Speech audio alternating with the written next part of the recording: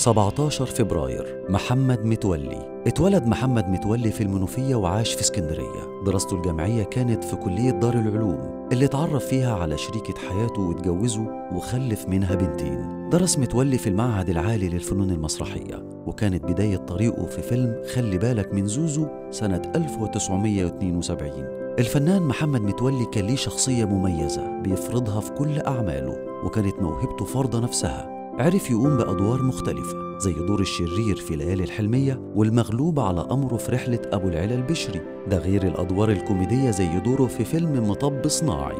وكانت آخر حاجة كتبها الفنان الراحل على حسابه في موقع فيسبوك كل شيء وله آخر. طب ليه ما تكونش البداية خير عشان النهاية تبقى منك في صالح الغير؟ كل خطوة بنمشيها مكتوبة بس الصح والغلط بإيدك أنت يا إنسان. بحمد ربنا إن لسه إنسان بخاف الحرام جدا وبعشق الحلال. رحم الله الفنان محمد متولي.